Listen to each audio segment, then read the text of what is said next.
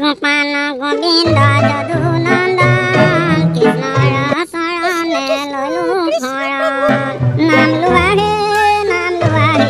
প্ৰভু ঈশ্বৰৰ নাম লোৱাহে বহুত কৰিলো আমি বেয়া কাম প্ৰভু কৰি দিয়া ক্ষমাদান এই, কি ক্ষমা কি ক্ষমা কি ক্ষমা কৰিবলৈ বিচাৰিছ তহঁতি? আমি সদায় বেয়া কামকে কৰি থাকোঁ। আজি সেইকাৰণে প্ৰভু নামকে লৈছোঁ আৰু। বেয়া কথা ভবা নাই বাৰু তহঁতি। ভালেই কথা ভাবিছ পিছে য'তে ত'তে আকৌ এইবোৰ ঈশ্বৰৰ নাম লৈ থাকিব নোৱাৰা নহয়। বল বমটো চলি আছে। আমি নহ'লে যাওঁ ব'ল। সেই গছৰ তলতে গৈ নাম লওঁগে ব'ল ব'ল ব'ল। জয় জয় শংকৰদেৱ জয় জয় মাধৱদেৱ। আমাক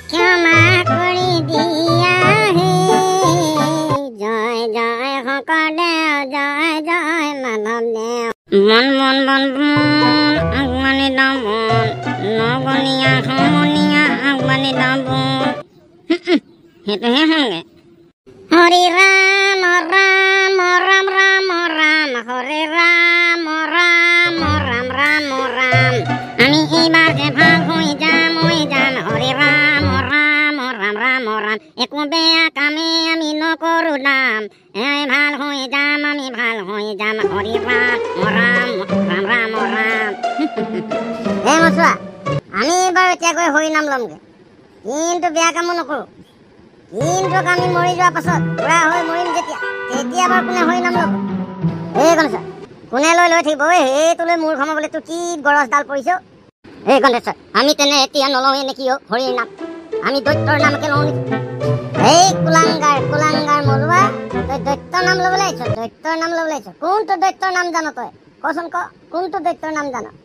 এই গণেশ গণেশ এই টিম্বেশ্বৰ দৈত্য টিম্বেশ্বৰ দৈত্য তাৰ নামটো জানো দেচোন এই মলুৱা মলুৱা মলুৱা তই কিডাল যে পকিছ এইটো মানুহৰ নামেচোন আমাৰ ডিম্বেশ্বৰ দাইটিটোক আকৌ দৈত্য বনাই পেলালে সি ভাওনাতহে দৈত্য ভাও কৰিছিলে তই আকৌ সঁচা সঁচিকে দৈত্য বুলি ভাবিছ নেকি এইটো মানুহ মানুহ জানো পাই তহঁতি কিডাল কৈছ এবাৰ কৈছ মানুহ এবাৰ কৈছ দৈত্য দৈত্যৰ নাম ল'বলৈ কৈছে গন্ধেশ্বৰে মই দৈত্যটোৰ নাম কৈ দিছোঁ ডিম্বেশ্বৰ দৈত্য এতিয়া আকৌ তই কৈছ মানুহ মই একদম বিমূৰত পৰি গৈছোঁ দেই কি কৰ কৰ বল বল হৰি নামকে লওঁগে বল তেনে বল। মানুহ দৈত্য মানুহ দৈত্য ডিম্বেশ্বৰ দৈত্য কিডাল যে ঘটি আছে আৰু এইখন। সেইটোহে হওঁগে হৰি নাম ধৰিবা চাপৰি কেনেৰিবা। এহে হৰি নাম অমিত সমান হে হৰি নাম চাপৰি কেনেৰিবা অহে হৰি নাম অমিত সমান হে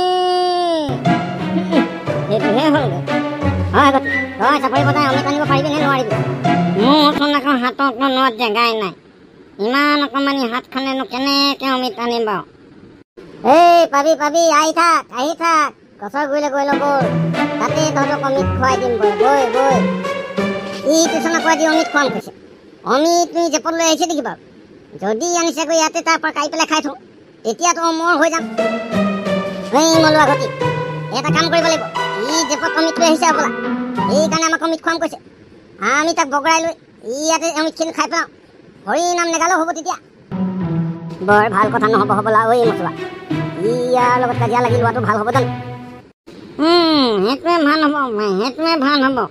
ইয়াক বগৰাই লৈ একেবাৰে অমিতখিনি খাই পেলাওঁ দে অমৰ হৈ যাম আমি তেতিয়া সি আৰু ইয়াতে পৃথিৱীতে থাকি যাম দে দে সেইটোহে হ'লগৈ এই কি ভুল হৈ আছ তহঁতি তিনিটা আহি থাক আহি থাক মোৰ পাছে পাছে আহি থাক এই মচা কেলে বগৰাই আছ এই ধৰ ধৰ ধৰ খটি ধৰ মলুৱা ধৰ ইয়াক জেপ জেপ চা জেক চেকিং কৰ জেপ চেকিং কৰ এই জেপতচোন একো দান নাই অ' মলুৱা মচুৱা কি হ'ব এতিয়া এনেই ইয়াক বগৰাই পেলানো ধূলিখনত ৰ ৰ মোক উঠিবলৈ দে উঠিবলৈ দে ৰ মই তহঁতক একদম বাৰ বজাই আছো ৰ ৰ তহঁতক একদম চৈধ্য বমান দেখুৱাই দিম এতিয়া। কি বিচাৰিছ তহঁতি মোৰ জেপত? কি বিচাৰিছ?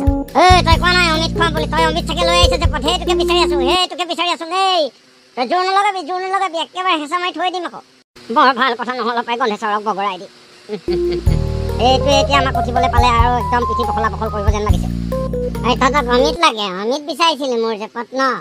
এতিয়া তহঁতি পাবি খাবি ৰ ৰ মোৰ হাতৰ তলুৱাতে আছে আহ আহ আহ কোনে কোনে খা আছে এ মচুৱা তই প্ৰথমতে খা অ ল আয়ো এতিয়া এচৰ দিলো কেনেকুৱা লাগিলে অমিতটো খাই বুদ্ধিটো কাৰ হৈছিলে মোক বগৰাই যে জেপত হাত সোমোৱাই তহঁতি অমিত বিচাৰি ফুৰিছিলি কাৰ বুদ্ধি হৈছিলে কাৰ বুদ্ধি হৈছিলে এইটো ইয়াত থকাটো বৰ ভাল কথা নহ'ব হ'বলা পলোৱাই ভাল হ'ব ই এচৰ খালে আমাকো দিব হ'বলা মই হ'লে পলাম সিহঁতি কি কৰে কৰক দেই ৰাম ৰাম ৰাম ৰাম ৰাম ৰাম ৰাম ৰাম ৰাম ৰাম মনো আঁঠোচোন আকৌ পটককৈ নাইকিয়া হৈ থাকিলে?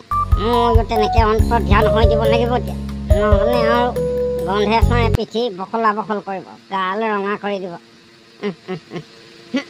সেইটোহে হ'মগৈ এই ৰ ৰ ৰ ৰ কেদি পিঠি কৰিছ কেদি পিঠি কৰিছ এতিয়া লাজ পাইছ লাজ পাইছ মচুৱা মোক কমিত বিচাৰি মোক লুটিয়াই পেলালি। এয়াই তই বন্ধু বুলি ভাব মোক বন্ধু বুলি ভাব। তই মোৰ ঘূৰৰ শত্ৰু আজিৰ পৰা। তই ঘূৰৰ শত্ৰু বনি গৈছ মোৰ। এই গণেশ তই বেয়া আছে নেপাবি তই যে কৈছিলি গছৰ গুৰিত অমিত খোৱান আহ বুলি। মোৰ আকৌ বেলেগ লাগি গ'ল নহয় আৰু সেইটো খালে আকৌ অমৰ হৈ যায় নহয়। সেইকাৰণে ভাবিলোঁ তোকে তই চাগে লৈ আহিছ জেপত সেইকাৰণে জেপত হাত সোমোৱাই চাইছিলোঁ আকৌ তই আকৌ মোক এথাপৰ দিলিয়েই। পিছে ময়ো তোক দিব পাৰিলোহেঁতেন কিন্তু নিদিওঁ আৰু দে।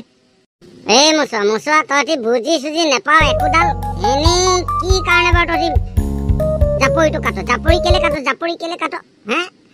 এনেই এনেই মিছা মিছি মোক একদম গোটেইটো লেতেৰা কৰি পেলালি নহয় বল এতিয়া ঘৰলৈ যাওঁগৈ বল অমিত খাবলৈ পাম বুলি গৈছিলো লগত গৈছিলো লগত অমিত নেপাই চৰ খালো গন্ধেশ্বৰৰ হাতত ফৰফৰাই আছে দেই একদম গাল ফৰফৰাই আছে